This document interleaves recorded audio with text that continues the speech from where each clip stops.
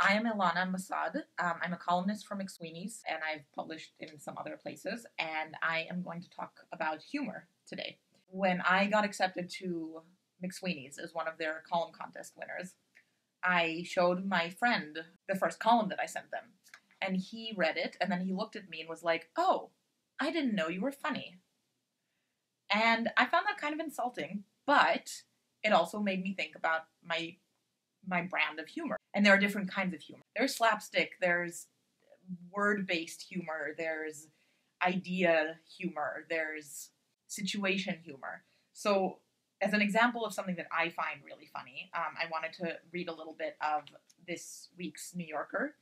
There is a piece called Bible System Updates by Megan Amram. And this is idea humor. This is what I find funny. So I'm just going to read a little bit. For optimal system performance, update your Bible as often as possible. Version 1.0 Original release Heavens, Earth, Formless Void. 1.1 Improved visuals with Light Expansion Pack replaces darkness. 1.2 Land Animal Expansion Pack Zebras, Mice. Fish Expansion Pack Eels.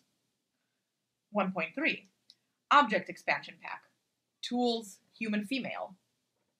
Get it? So, I think that this is hilarious, and I definitely suggest that you guys look this Shouts and Murmurs up. So then, other kinds of humor are there's a, there's a sort of jokey humor that's used in literature a lot.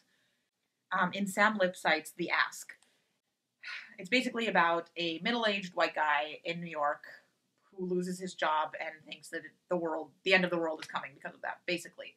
Um, and everybody in his life kind of hates him, and he doesn't realize it. Sam Lipsyte uses a lot of sort of jokes, you know, like very much written down comedy bits in his writing. So, for instance, there's one woman whose name sounds sort of like vagina. Her name is Vargina, and he thinks that that's hilarious. And the person who's filming this right now also thinks it's hilarious.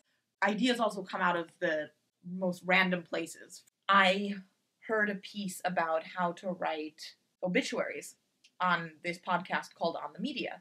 And in this piece, they were talking about how obituaries are not even a thing anymore. People don't really write them unless it's for big famous people, when it used to be just sort of a way to celebrate people's life in the paper and have someone who is known get known for something. When I was writing my pitch for McSweeney's, I suddenly realized hey, obituaries can be really funny.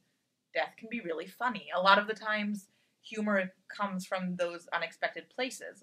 So what I came up with was to write obituaries for children's literature characters. So for instance, in my first obituary column, I killed off Winnie the Pooh with diabetes because that's funny. So what I'm trying to say is what you think is funny, someone else out there will think is funny. Even if your friends don't think it's funny, someone else will. My friends originally thought that the killing off Winnie the Pooh thing was a little too dark and depressing. I thought it was funny.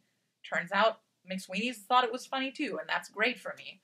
But don't listen to people when they tell you that it's just not funny, because if you think it is, someone out there also does. One thing that I think is very important is don't be too safe when you're doing humor. We live in an age of political correctness, and in many ways that's really good because we're learning to actually realize what is problematic for other people. But on the other hand, you need to remember that when you're writing, you need to write what you think is funny. You just do. So, for instance, this Bible systems update piece is probably super offensive to some people, to anybody who's religious of any of the three major monotheistic religions who takes it seriously. That could be extremely offensive. If they see it as satire, they will understand that it's not offensive. For more updates and videos, either follow Inky Dumbbell's YouTube channel or follow me on Twitter at RowanHLB. See you soon!